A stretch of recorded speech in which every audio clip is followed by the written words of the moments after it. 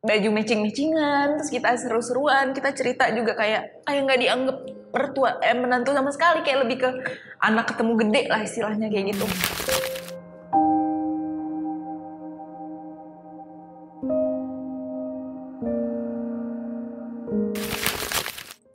Hmm.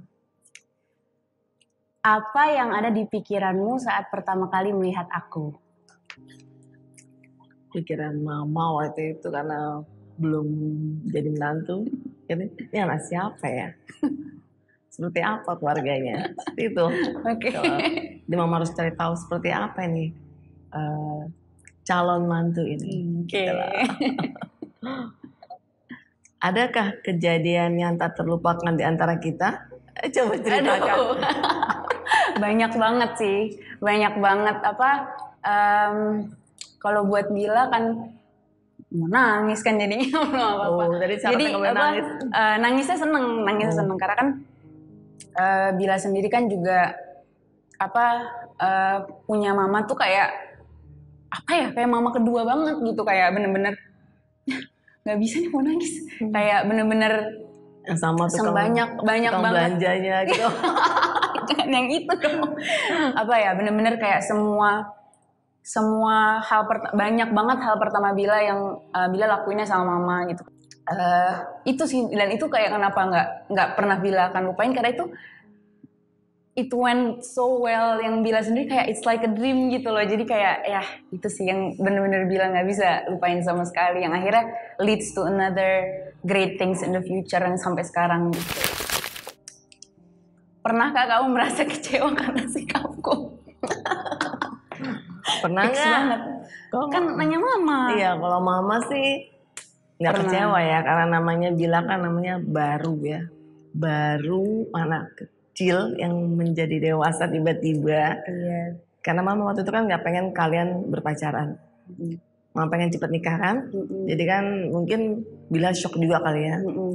Ya mama kalau seandainya ada yang mama nggak eh, nggak serak atau apa kan mama Langsung bilang ngomong. langsung bilang langsung. Kalau nggak Iya. mama lewat abang Mm-mm. karena memang ada peraturan di mana untuk menyampaikan ke menantu kadang menantu kan kadang-kadang Iya. eh, namanya mertua menantu apalagi mertua perempuan sama menantu perempuan itu suatu yang sering terjadi Mm-mm, mm-mm. klik gitu jadi menurut mama memang mama berusaha memahami menantu kan kalau zaman dulu menantu harus mengikuti keinginan mertua Iya benar. kalau zaman sekarang kayaknya Enggak. mertua harus ngikutin menantu deh kayaknya kayak mertua harus matching matching gimana caranya jaga pera- perasaan tapi kalau dulu kan Iya, kami nggak benar bisa sih, benar. kalau mama dulu kami harus ngikutin mertua maunya ini nurut gitu. Kalau sekarang memang anak zaman sekarang udah berubah. Iya sih Jadi ya mudah-mudahan em, sama-sama belajar mama jadi mertua yang lebih baik, bila jadi menantu yang lebih baik. Bener sih. Ceritakan hal-hal apa yang paling bila syukuri akan adanya mama di bila. Cia. Aduh, itu sih udah kayaknya banyak banget ya mas. Sejujurnya kayak Hmm. untuk menjadi eh, seorang individu yang lebih baik tuh bila dapetin dari mama. Nggak cuma jadi menantu yang lebih baik, tapi kayak jadi anak yang lebih baik, jadi em, istri yang lebih baik untuk Bang Fuad. Hmm. Terus apa? Bila bersyukur banget karena kayaknya kadang Bila ngerasa kalau misalnya nggak sama mama, Bila nggak tahu gitu kayak bakal gimana dan emang banyak banget juga Bila dapat feedback dari teman-teman Bila kayak wah lu beruntung banget punya mertua kayak lo kayak mama Pivi gitu ya kayak Hmm. bisa apa baju matching-matchingan terus kita seru-seruan kita cerita juga kayak kayak nggak dianggap mertua eh menantu sama sekali kayak lebih ke anak ketemu gede lah istilahnya kayak gitu. Dan yang Bila paling bersyukur sih kayak mama kalau eh, ada unek-unek sama Bila tuh nggak kayak mertua-mertua yang Bila tahu pas di TV Di belakang gitu yang kayak oh dia ngomongin di belakangnya kayak iya sih ini tuh gini gini gini gini. Kalau misalnya mama kan nggak mama kan langsung kayak Bila dipanggil walaupun itu kayak ah dipanggil lagi tapi tetap aja kayak Bila bersyukur aja kayak nggak diomongin di belakang terus kayak jadi langsung berubah gitu. Kayak mama juga nggak apa ya Bila ngerasa nggak dibedain aja gitu sama anak-anak mama. Kalau misalnya kita salah di sidaknya juga bareng-bareng gitu. Jadi ya Bila sih senengnya di situ sih bersyukur banget. Eh, menurutmu bagaimana seharusnya aku bersikap di tengah-tengah keluarga? Ya, sampai saat ini kan Bila kan sudah mencoba me- beradaptasi sama dengan keluarga inti di mana Bila punya adik laki-laki semua. ya kan? Makanya terus kan mama bilang Bila harus menutup aurat kalau di rumah mama. nggak bisa enggak, ya kan? Karena adiknya laki-laki semua. Terus kalau kita kumpul juga Bila udah mulai beradaptasi bisa keluarga besar papa, keluarga besar mama Bila bisa Bila termasuk orang yang cepat kan bisa mm, gabung sama adik-adik sepupu untuk ini untuk ngobrol untuk di rumah juga mama juga bersyukur bila jadi kakak untuk anak-anak mama yang lain gitu jadi ya bagus udah bagus bila udah bisa ini nggak banyak lah poles-polesannya Tuh pasti nih Apa emang? Pernahkah kamu merasa sedih karena perkataan atau tindakanku? Pasti. Kenapa? Coba. Kayaknya nggak jauh-jauh dari yang tadi Pasti kita tuh, udah iya. obrolin sih. Iya. Pa- apa? Sejujurnya kalau misalnya kita beda berapa lama sih mah nikah 2020 2020 Januari. Enggak sih kayak sejujurnya yang, yang sedih cuman sekali mah. Yang bener-bener kayak uh gitu tuh cuma sekali. Atau disuruh ngapain? Waktu itu pas ke sensi terus pakai Oh, baju pakai bajunya. pakai bajunya kan ceritanya ngikut-ngikutin Anak apa kekinian. fashion fashion blogger Hmm, gitu kan yang kayak bila kan bingung nih kalau pakai hijab tuh kayak gimana gitu terus Pakai udah dalaman celananya itu. Oh, Jangan- ternyata nggak nggak sesuai lah sama yang mama ini. Terus mama kayak Oh, itu dia bilang, langsung haram itu haram mama bilang gitu. nggak boleh tuh harusnya haram. Terus, udah udah itu doang. Tapi udah gitu kayak apa sejujurnya kayak kalau Bila kan juga tipe orang yang misalnya mama ngomong nih Bila emang baper saat itu kayak "Hmm, mama kayak gitu. Tapi udah gitu udah kayak udah selesai aja. Bila nggak ada bawa kayak dendam atau apa gitu udah selesai saat itu ya udah aja gitu. Jadi paling kalau misalnya sakit hati cuman itu dan bukan kayak bukan karena perkara yang besar gitu. Jadi kayak bisa dibilang hampir nggak ada sih.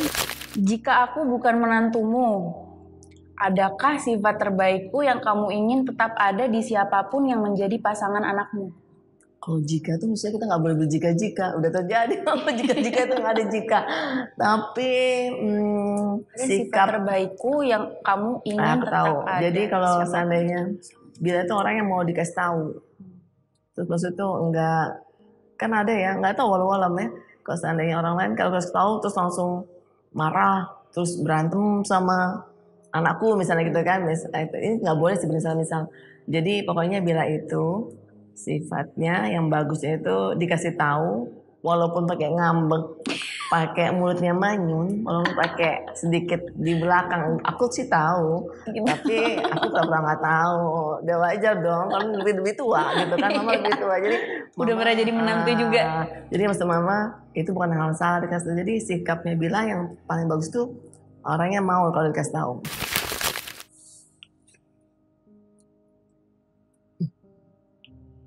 Apa nih mah Sampaikan nasihat untuk anak menantumu dalam menghadapi kehidupan rumah tangga. Oke. Jangan pernah curhat sama temen. oke Masalah apa pun nggak boleh curhat sama temen. Sebaik apa pun teman, belum tentu dia memberikan yang terbaik dalam rumah hal rumah tangga. Hmm. Pertama. Terus kalau mau kalau anakku yang salah, curhatnya sebaiknya sama mama sama aku. Hmm. Eh, tapi karena kalau sama orang tua bilang nanti orang tua bilang kesel lihat anakku sikapnya gitu bilang kalian udah mesra lagi Masih kesel. baper. nah kalau sama Mama. mama bila bisa menyampaikan ya mama pasti oh kalau memang dia salah aku iniin jangan pernah meninggalkan rumah kalau lagi berantem gitu kamu meninggalkan rumah masuk wanita lain oh gitu pasti itu jadi se berantem berantemnya di kamar aja. Harus selesaiin di kamar. selesaikan kalau nggak selesai ya hari itu tetap di rumah aja. Terus pokoknya jangan merendahkan suami. Gitu. Terus kalau ada sesuatu yang pengen disampaikan sama suami lihat suami kira-kira capek nggak? Dia tuh pulang-pulang lagi banyak kerjaan terus pengen ini gitu. Pengen nyampein ini aduh ini aku mau ini ini. Nggak bisa gitu. Terus mencoba memahami berapa penghasilan kalian. Jadi jangan memenuhi keinginan tapi kebutuhan. Kan kalau wanita sama kayak mama-mama tapi kan mama udah tua kan. Dulu waktu mama masih muda juga mama masih ngerem-ngerem kan. Pengen apa? Pasti diem dulu. Apalagi punya anak empat gitu kan. Jadi punya anak empat laki-laki semua. Jadi kan aku harus punya tabungan untuk pendidikan anakku. Ya kan? Sama nggak mungkin dalam rumah tangga nggak ada masalah pasti ada se, se, se, secinta apa pun pasti ada masalah. Itu namanya kehidupan. Tapi tadi kuncinya satu pokoknya jangan mau menang sendiri. Tapi sama-sama gitu. Ya terus ingat apalagi udah ada anak keributan seperti apa pun anak itu sebagai eh, suatu tautan suatu kunci supaya kita tetap bersama. Jaga penampilan kita istri makanya harus bangun pagi tuh harus nggak mandi ya. anak sekarang pagi nggak pernah mandi ini perempuan Kalau pergi doang. pergi baru mandi nah itu karena suami mau pergi kerja mestinya istrinya udah wangi Iya bener sih, Nah, gitu harusnya. loh. Kalau suami nggak mandi emang wajar, laki-laki emang gitu. Laki-laki emang seperti itu, emang kita harus memahami laki-laki rata-rata seperti itu. Jadi perempuannya yang harus lebih mandi, habis itu bersih, wangi. Walaupun tiduran lagi sebelah suami nggak masalah. Iya sih, iya Gitu. benar-benar. Gitu, Itu pesannya mama. Eh, kalau misalnya bila ada kekurangan atau belum sempurna gitu ya, ki- bila itu eh, dan mungkin semua orang yang jadi menantu awal-awal tuh pasti kayak mau mengupayakan yang terbaik gitu. Jadi kayak semoga mama mau nunggu bila dan untuk apa eh, ngasih bila waktu untuk bisa bahagiain mama, bisa jadi ibu yang baik untuk cucu mama, jadi istri yang baik buat eh buat anaknya mama dan jadi kakak-kakak yang baik buat adik-adik juga karena eh, dengan semua kekurangannya Bila, Bila itu sayang banget sama mama, sama papa, sama keluarga mama udah kayak keluarga Bila sendiri. Bila nggak ada kayak mikir adik-adiknya Harkan tuh cuma adik-adik Harkan doang gitu. Bila merasa mereka itu adik-adik Bila sendiri, mama itu mama Bila sendiri, papa itu papa Bila sendiri. Jadi kayak mungkin yang berbeda dari kita itu cuma cara, menyampaikan kasih sayang sih menurut Bila. Kalau zaman sekarang orang bilangnya love language-nya beda gitu. Jadi eh, tapi in the end ujung-ujungnya menurut Bila sama. Bila maksudnya walaupun mama juga bukan tipe yang kayak Bila dikit-dikit bilang Bila sayang mama bukan tipe yang kayak gitu. Bila tahu mama sayang sama Bila dan kayak tapi cara mama menunjukkan ya emang kayak gitu gitu caranya beda aja. Pelukan. Iya kan? Oh perlu kan ya? Gila ya.